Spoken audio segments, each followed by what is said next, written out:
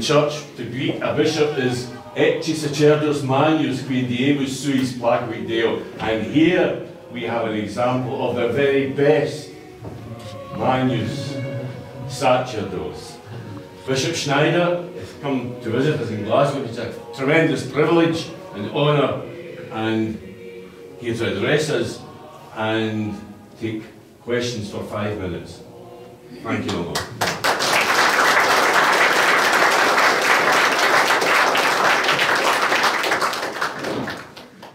Dear Father Morris, and dear Mr. Stone, I thank you for your invitation and for your, for your greetings. And I greet all of you, my dear brothers and sisters, especially the priests and uh, the little one, the children and the young people. So I would like to speak to you this evening about the, the church's primary mission to proclaim the truth. When about to ascend into heaven, Jesus sends his apostles in virtue of the same power by which he had been sent from the Father. And he charges them to spread around and propagate his teaching. All power is given to me in heaven and in earth. Going therefore, teach all nations, teaching them to observe all things whatsoever I have commanded you. Jesus Christ commanded his apostles and their successors to the end of the time to teach and rule the nations. He ordered the nations to accept their teaching and to obey their authority. Christ commands that the teaching of the apostles should be religiously accepted and piously kept as if it were his own teaching. He says, He who hears you hears me, and who despises you despises me. Wherefore, the apostles are ambassadors of Christ, as he is the ambassador of the Father. As the Father sent me, so also I sent you. Hence, as the apostles and disciples were bound to obey Christ, so also those whom the apostles taught were, by God's command, bound to obey them. And therefore, it was no more allowable to repudiate one iota of the apostles' teaching than it was to reject any point of the doctrine of Christ himself. So Christ instituted in the church the living, authoritative, and permanent magisterium, which by his own power he strengthened by the Spirit of truth he taught, and by the miracles confirmed. He willed and ordered, under the gravest penal penalties, that its teachings should be received as if they were his own. As often, therefore, as it is declared on the authority of this teaching that this or that is contained in the deposit of divine revelation, when the church is teaching in such a way, in a definite way. So it must be believed by everyone as true. It is necessary that the mission of teaching whatever Christ had taught should remain perpetual and immutable. And on the other, that the duty of accepting and professing all their doctrine should likewise be perpetual and immutable. Our Lord Jesus Christ, when in his gospel he testifies that those who not are with him are his enemies, does not designate any special form of heresy, but declares that all heretics who are not with him and who do not gather with him scatter his flock and are his adversaries. The church has to fulfill her primary mission, and this is proclaiming the truth. The truth, bearing in mind that she will be always persecuted. Blessed John Henry Newman left us the following far-sighted reflections. I quote, We have been so accustomed to hear of the persecutions of the church, both from the New Testament and from the history of Christianity, that it is much if we have not at length come to regard the account of them as words of course, to speak of them without understanding what we say, and to receive no practical benefit from having been told of them. Much less are we likely to take them for what they really are a characteristic mark of Christ's church to be persecuted. They are not indeed the necess necessary lot of the church, but at least one of her appropriate badges so that on the whole, looking on the course of history, you might set down persecution as one of the peculiarities by which you recognize the church. And our Lord seems to intimate how, be how becoming, how natural persecution is to the church by placing it among his beatitudes Blessed are they who are persecuted for the righteousness' sake, for theirs is the kingdom of heaven. Giving it the same high and honorable rank in the assemblage of evangelical graces, which the Sabbath holds among the Ten Commandments, I mean as a sort of sign and token of his followers and as such placed in the moral code, though in itself external to it.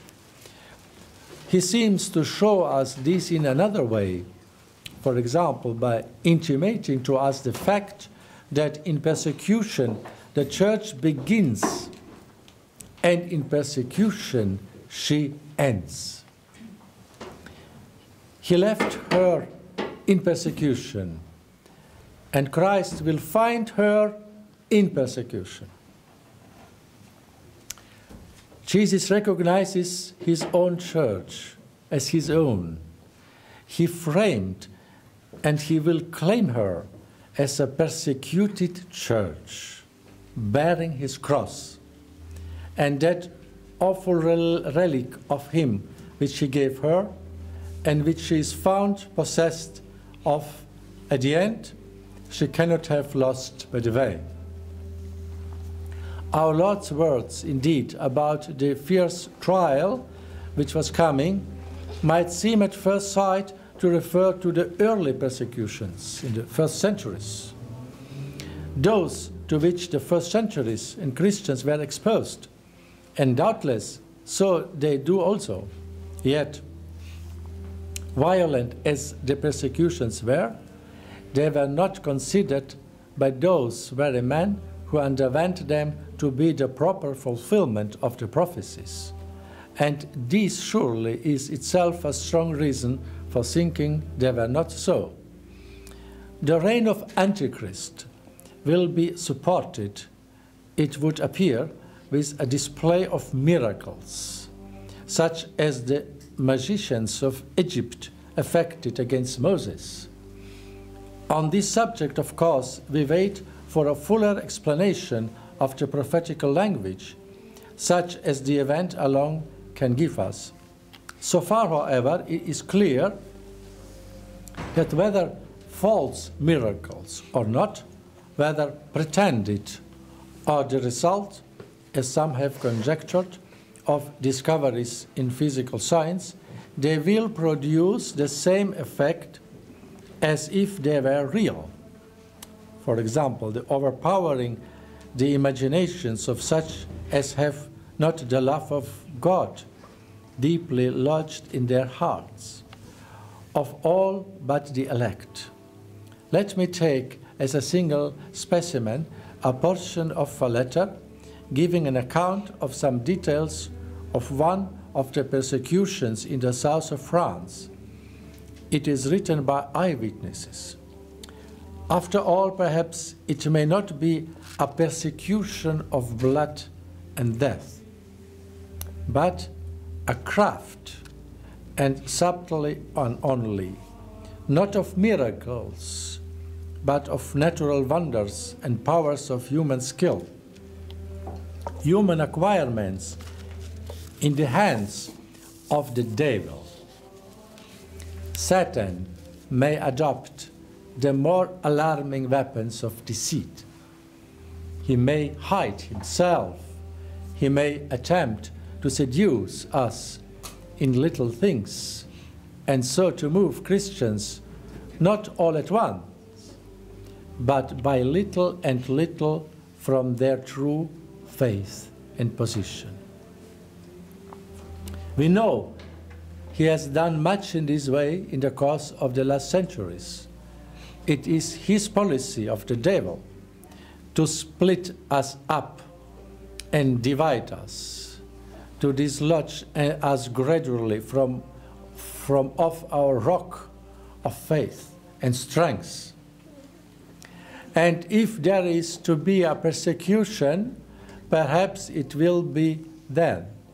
Then perhaps when we are all of us in all parts of Christendom so divided and so reduced, so full of schism, so close upon heresy. When we have cast ourselves upon the world and depend for protection upon the world and have given up our independence and our strength in faith. Then the devil may burst upon us in fury as far as God allows, allows him. So these reflections of Blessed John Henry Newman, which we heard now, are illustrated still by the following remarkable passage in a letter of Bishop Horsley's written in 834 already. I quote of this letter, 1834. The church of God on earth will be greatly reduced, as we may well imagine, in its apparent numbers in the times of Antichrist by the open desertion of the powers of the world. This desertion will begin in a professed indifference to any particular form of Christianity under the pretense of universal toleration, which toleration which will proceed from no true spirit of charity and forbearance, but from a design to undermine Christianity by multiplying and encouraging the sects, sectarians. The pretended toleration will go far beyond a just toleration, even as it regards the different sects of Christians. For governments will pretend an indifference to all and will give a protection in preference to none. All establishments will be laid aside from the toleration of the most pestilent heresies. They will proceed to the toleration of Islam. He wrote 834 already that the government will make the toleration of Mohammedanism, Islam, of atheism. So I continue to quote, and at last to a positive persecution of the truth of the faith, of Christianity. In these times, the temple of God will be reduced almost to the holy place, that is, to the small number of real Christians who worship God in spirit and in truth. And they will regulate their doctrine and their worship and their whole conduct strictly by the word of God and by the truth. The merely nominal Christians will all desert the profession of the truth. When the powers of the world desert it. And this tragic event I take to be typified by the order of St. John to measure the temple and the altar in the Apocalypse and leave the outer court to be trodden underfoot by the Gentiles. The property of the clergy will be pillaged, the public worship insulted and vilified by these deserters of the faith they once professed who are not called apostates because they never were in earnest in their profession of faith. Their profession was nothing more than a compliance with fashion and public authority. In principle, they were always what they now appear to be pagans, even so, nominal Christians. These are the words of John Henry Newman. When this general desertion of the faith takes place, then will commence the secular ministry of the witnesses. There will, there will be nothing of splendor in the external appearance of their churches. They will have no support from governments. They will have no honors, no emoluments, no immunities, no authority, but that which no earthly power can take away, which they derived from Him, from Christ, who commissioned them to be His witnesses. So, this is a, a letter from John Henry Newman from 834. We see it is very up to date. And so, Blessed John Henry Newman saw the spe special peril of the future times in the spread of the plague of infidelity and of unbelief. In a sermon in 873, he says, I quote, Christianity is superhuman in its origin. It differs from all other religions. As man differs from quadruped bird or reptile, so does Christianity differ from the superstitions, differ from heresies, from philosophies which are around it. It has a theology and an ethical system of its own. This is its indestructible force. How are we to secure and perpetuate in this world that gift from above? How are we to preserve to the Christian people this gift of faith? So special, so divine, so easily hid or lost amid the imposing falsehoods which, with which the world abounds.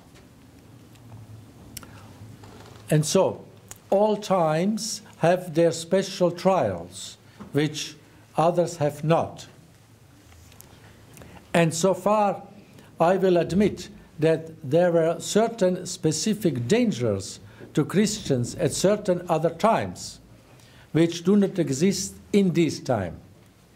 Doubtless, but still admitting this, still I think that the trials which lie before us are such as would appall and to make dizzy even such courageous hearts as Saint Athanasius, Gregory the Great, Gregory the Seventh, and they would confess that dark as the prospect of their own day was to them severally ours has a darkness different in kind from any that has been before it.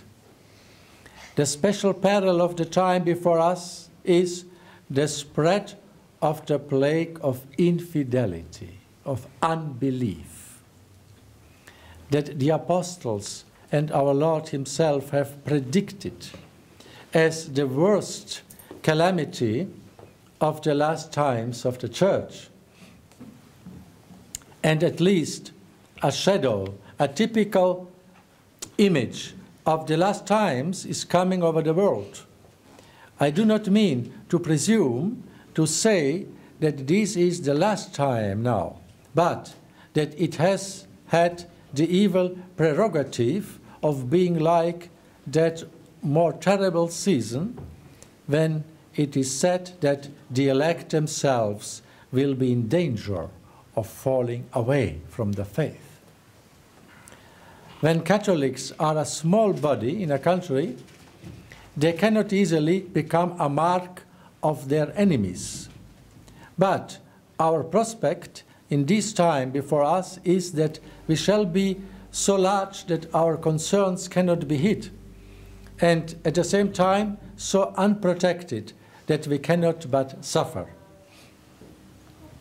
No large body can be free from scandals, from the misconduct of its members. In medieval times, the church had its courts in which it investigated and set right what was wrong, and that without the world knowing much about it.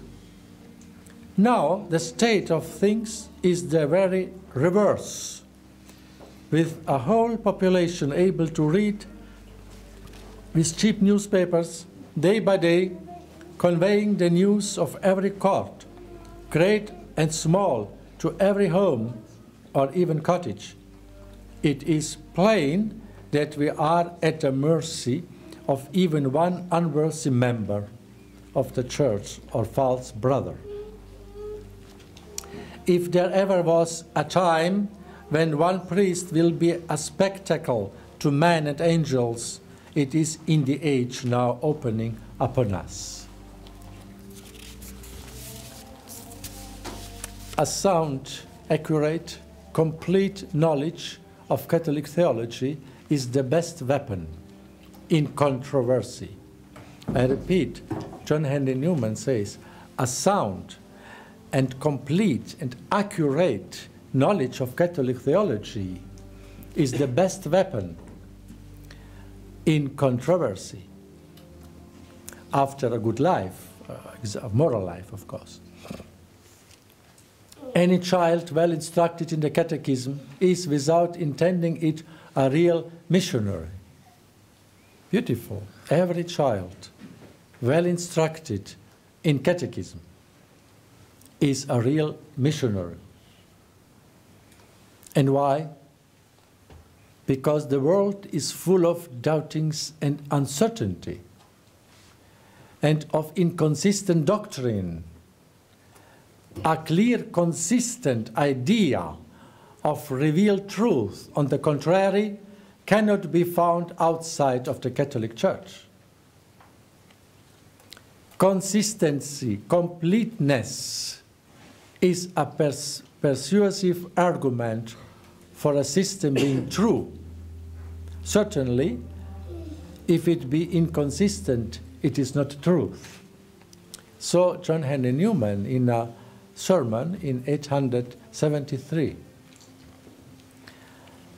And Hilaire Belloc presented already in 930 38, an almost prophetical analysis of the current situation which Christianity and specifically the Catholic Church has to face, and in which her mission of proclaiming the truth reveal its prim primary importance.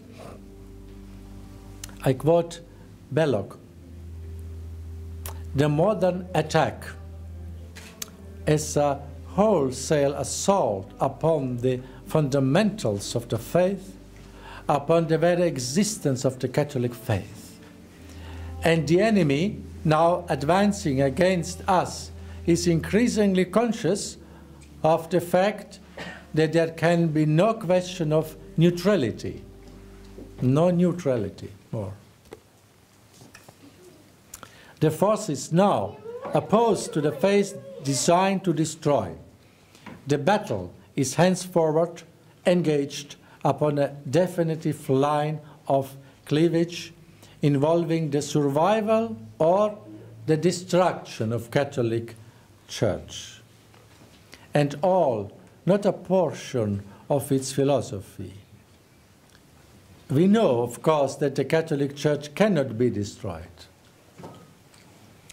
The truth is becoming every day so much more obvious that within a few years it will be universally admitted.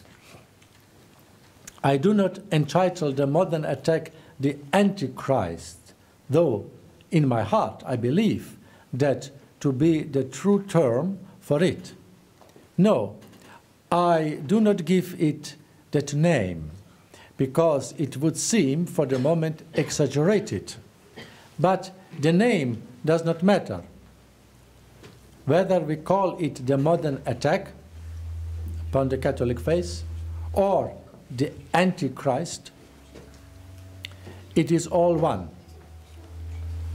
There is a clear issue now joined between the retention of Catholic morals, of Catholic tradition, of Catholic authority on the one side, and the active effort to destroy them, Catholic tradition, Catholic morals, Catholic authority on the other. The modern attack will not tolerate us. The modern attack will not tolerate Catholic tradition, Catholic morals. It will attempt to destroy us. Nor can we tolerate it. The great modern attack, which is more than a heresy, a specific heresy, is indifferent to self contradiction. It merely affirms. It advances like an animal, counting on strengths alone, not on arguments. Indeed, it may be remarked in passing that this may well be the cause of its final defeat. For hitherto, reason has always overcome its op opponents, and man is the master of the, of the beast through reason. The modern attack on the Catholic Church, the most universal that she has suffered since her foundation, has so far progressed that it has already produced social intellectual and moral forms which combined give it the savor of a religion. So, this modern attack has already a savor of religion. But reason today is everywhere decried. The ancient process of conviction by argument and by proof is replaced by reiterated affirmations and almost all the terms which were the glory of reason carry with them now an atmosphere of contempt. See what has happened, for instance, to the word logic, to the word controversy. Note such popular phrases as no one yet was ever convinced by argument. Or again, anything may be proved or that may be all right in logic, but in practice it is very different. this speech of man is becoming saturated with expression which everywhere connote contempt for the use of the intelligence. When reason is dethroned, not only is faith dethroned, but every moral, every legitimate activity of the human soul is dethroned at the same time. There is no God. So the words God is truth, which the mind of Christian Europe used as a postulate in all it did, that God is truth, cease to have meaning. None can analyze the rightful authority of government nor set bounds to it. In the absence of reason, political authority reposing on mere force is boundless. It's very up to date. the reason is thus made a victim because humanity itself is what the modern attack is destroying in its false religion of humanity. I repeat this phrase, it's very important. Belloc says, reason is thus made a victim, reason, because humanity itself is what the modern attack is destroying in its false religion of humanity. Reason being the crown of man, and at the same time his distinguished mark, the anarchs march against reason as their principal enemy. Either we of the faith shall become a small, persecuted, neglected island amid mankind, or we shall be able to lift at the end of the struggle the old battle cry, Christus imperat. Lastly, there is this very important and perhaps decisive consideration. Though the social strength of Catholicism, in numbers certainly, and in most other factors as well, as well is declining throughout the world. The issue as between Catholicism and a completely new pagan thing, the destruction of tradition, is now clearly marked. So, Hilaire Belloc, he wrote this in 938 already. Pope Pius X stressed very realistically the necessity of the church of the modern times to resist to false prophets. I quote a very rare um, note of Pope Pius X from the Archivio Secreto Vaticano. There is a, a letter which is kept in this and was, was published uh, some, a couple of years ago. And I quote from this letter of Pius X. And you will notice it's very also very up to date. The implacable enemy of humankind never sleeps. According to the circumstances of the time and the occurring of events, he changes tactically the language yet always ready to fight. In fact, the more the error, persecuted by the truth, is condemned to hide himself, the more one has to fear the dangerous ambushes behind which he does not hesitate to re-establish his ever fatal artillery units. Thus, we must never abandon ourselves to a false security.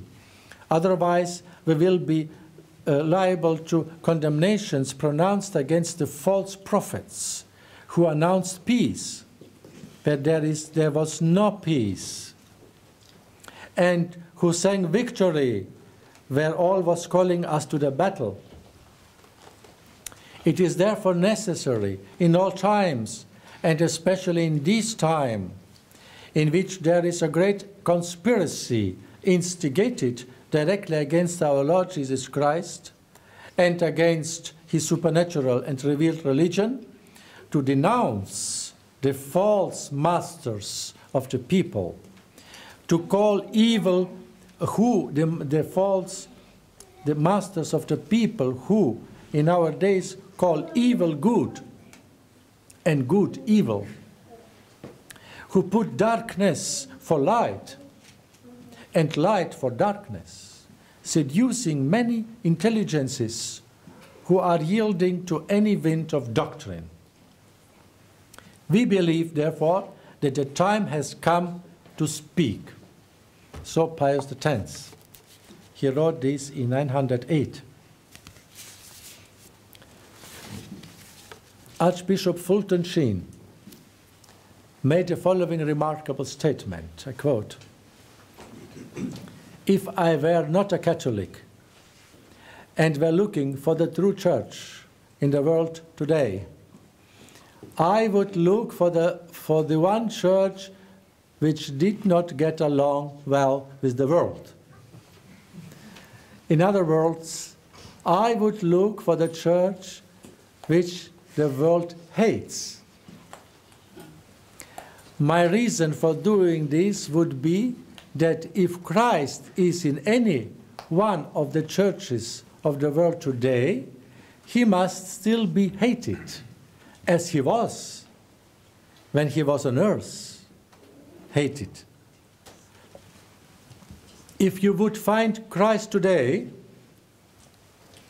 then find a church that does not get along with the world. Look for the church that is hated by the world, as Christ was hated by the world.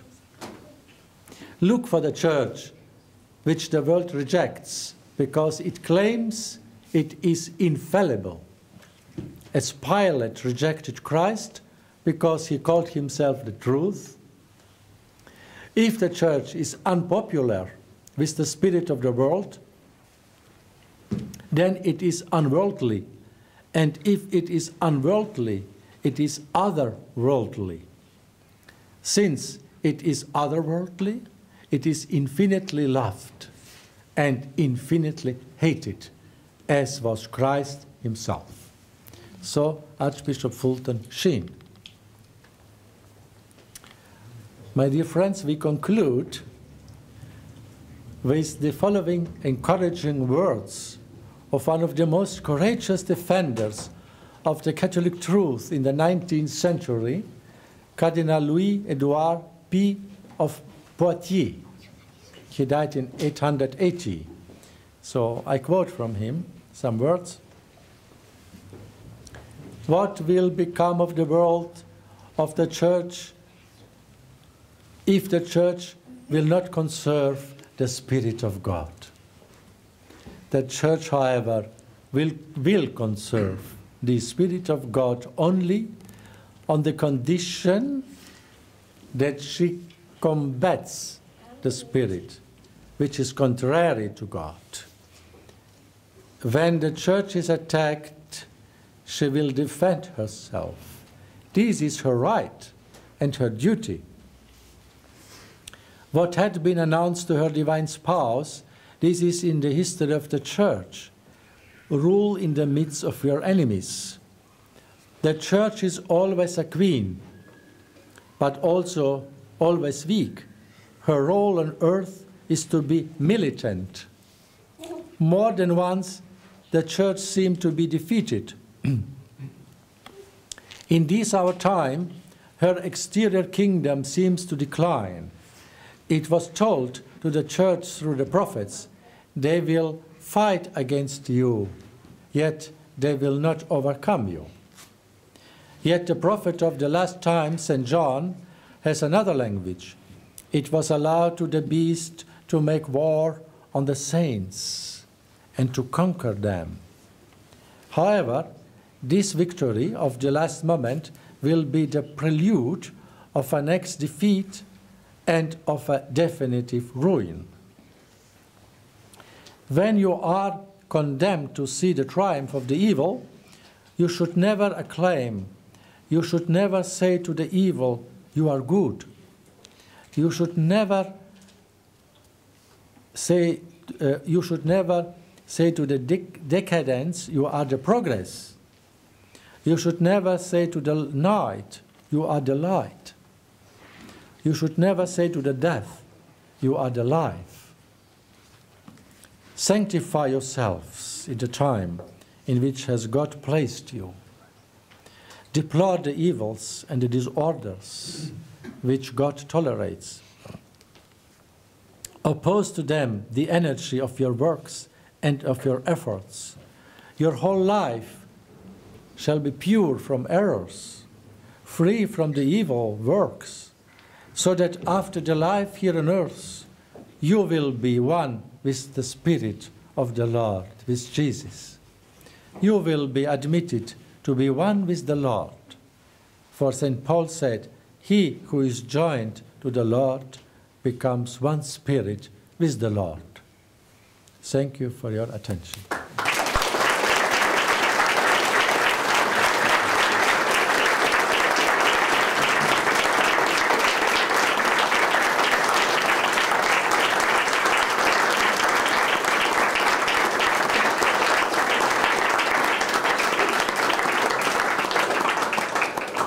Good is evil, and evil is good. Written by Shakespeare in 1604 in Macbeth Fair is foul, and foul is fair, hover through the fog and filthy air. Now, would anyone like to ask a question, particularly the clergy, uh, of the Bishop? I can ask a question, Fred. Thank you, Philip. Uh, Your Excellency, in times of uh, where it seems that the powers of darkness are on the rise, um, we worry about things like that, what encouragement could you give us um, to persevere in the true faith in these times? Yes, in the times of darkness, uh, our the main our power shall be the faith, the Catholic faith, the pure faith, and we know the faith. You have to say Saint Paul, I know to whom I believe, to whom I gave my trust, to Christ, and so you have to to know good and study good the catechism, the, the clear catechism. We have we had had very good. Well, there is the new big catechism of the Catholic Church, but there are some older editions of more sm- smaller catechism with a very substantial truth, and this you have to know. It's not so much necessary to know a lot of arguments, theological, but the basic faith. And for this basic faith, you have to be ready to die. That Christ is God, true God. That uh, I believe in the Eucharist, and so on. This basic, uh, basic, um, fundamental truth. You have to know this, and to transmit to your children, to young people, and even the adults have to repeat these. Please consult and read the good catechisms, which are in a very clear language. And this is immutable, immutable. And so you have always to say, even when you sometimes hear some strange affirmations of some clergy or even of some bishops, say, No, I know the faith. And I will believe in this. And I am ready to die for this. So study well the catechism and the, and the truth. And ask our Lord for the greatest of graces, the perseverance in the Catholic faith until the death, until the last moment, that you will be always be faithful to the Catholic faith. This is a grace of God. It's not our merits. It's a grace. But when you pray every day, you will remain faithful in the pure, in integral Catholic faith. This is, for, to my opinion, one of the, of the tools and the weapons which we have in this time. Yes, Henry. Thank you, Fred. Thank you, my Lord, um, for your great words of encouragement. Um, in this parish of the Immaculate Heart of Mary, many uh, Catholics travel here to be here for the old rite of the Mass. Um, and for many Catholics, the traditional rite is very new to them. And by attending the, new, the old rite of the Mass, they can see the Protestantisation of the Novus Ordo Mass. And many, many people believe that the, the purpose of the council, the Second Council, was to undermine authentic Catholicism.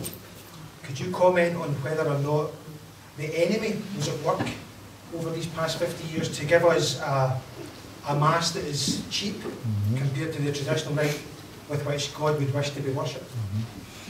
Well, of course, it is written in Holy Scripture that the, the, devil is not sleeping. He is continuously going around us as a lion to, to devour us and to, uh, to tempt us.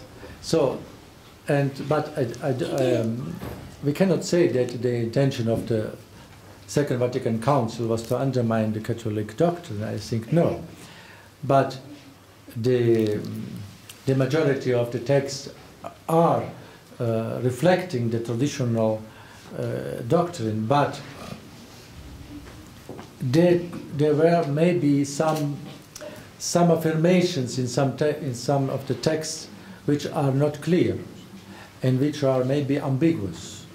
And here, maybe the human uh, weakness was a role in the council of those who participated to allow such such unclear some affirmations. And from these ambiguous and unclear affirmations then after the council the those who uh, in the in the church clergy and, and theologians who had the idea to make another church a protestant church abused these texts. And um, this is one uh, factor and the other that the leadership after the council of the church in general until our days were not so vigilant and allowed and sometimes even promoted such people which had not a, a, a, true catholic understanding theologians priests bishops they were promoted. And so they gained they gained power and influence. And so it is a process now of already 50 years or more. And so, therefore, but thanks be to God, the church has a good memory. And therefore, the church has kept the traditional Mass. Thanks be to God. And Pope Benedict XVI restores the traditional Mass in the entire church. Even so, this is not always accepted by, uh, the, by many bishops, or sometimes even obstaculated. But even, even so, it is a process, it's a power in the church, because what the church always believed, and what the church, and how the church always prayed during at least this form of the Mass could be uh, a thousand years. It is, it is a, a large period of time. And so many saints prayed in the same manner. It, it, it, was, uh, it was a powerful and a holy uh, prayer form. And so it, it, could, it cannot be lost in the church. And it will not be lost. And we observe that this traditional form of the liturgy is, is slowly growing and spreading. So it's a work of the Holy Spirit. And this is giving to us courage and hope. Thank you, my lord. Um, I'm really glad that you mentioned in the course of your answer Pope Benedict, because Pope Benedict wrote that the old rite was nunquam abrogatam, never abrogated. And as long as that's the case, it uh, will be celebrated openly in the church. Gerald, you would like to ask a question? Thank you, Your Excellency, for your encouragement tonight and all you do. At the start of your talk, you, you emphasised the, the, the necessity of the authority Christ gave to the apostles and their successors and how integral that is to the church.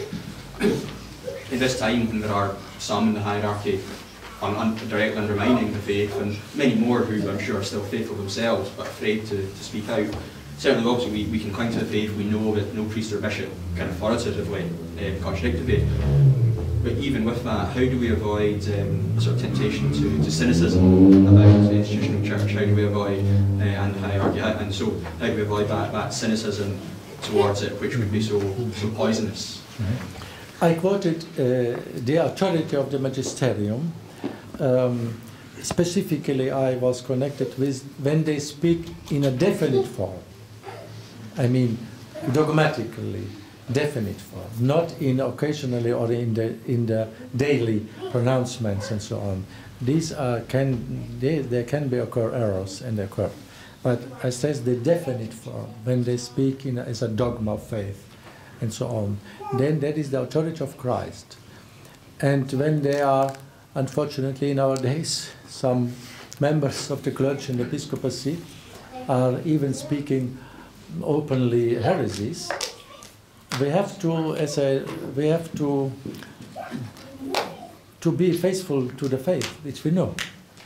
We have to pray for these clergy, or when we have the occasion, we can reverently advise them.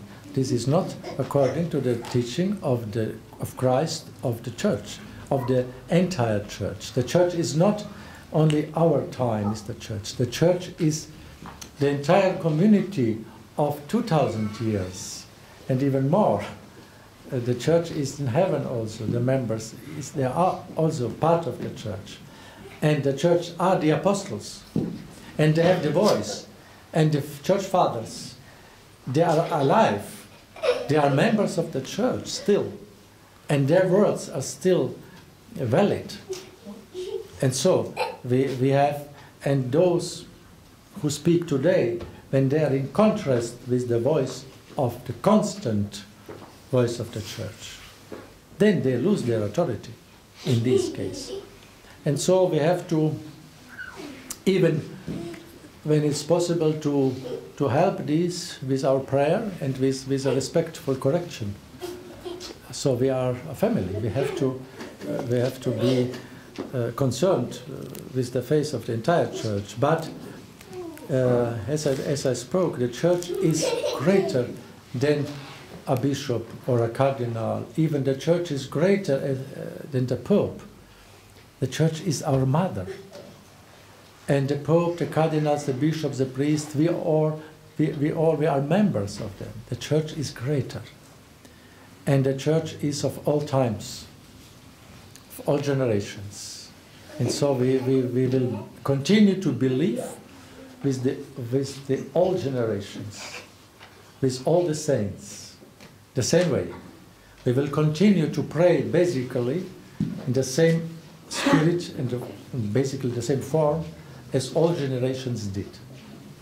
And this is this can no one can destroy this. So. Yes.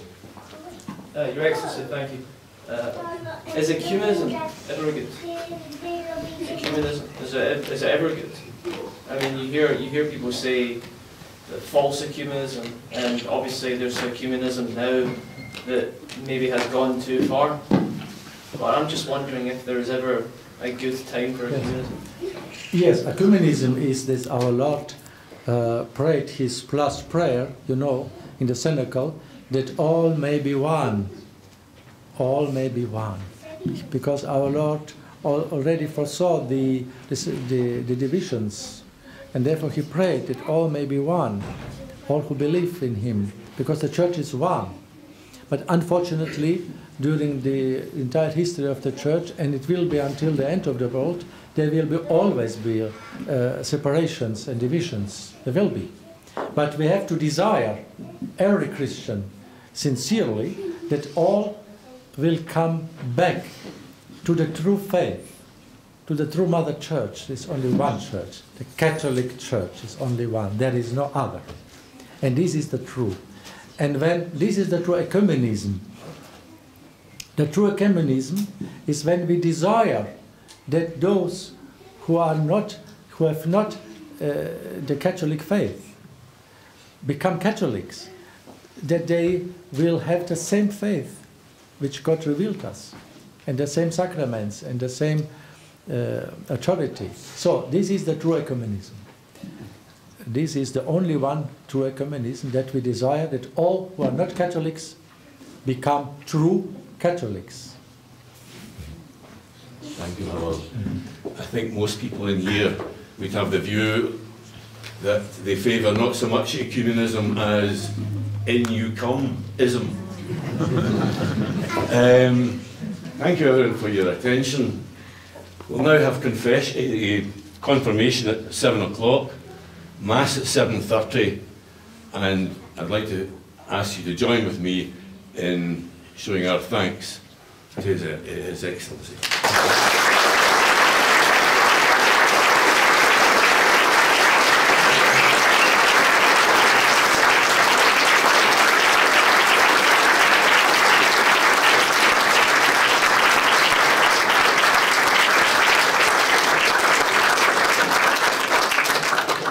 Thank you very much, and I wish from all my heart for all of you that you will be always, until the end of your life, true Catholics. And this is the best part.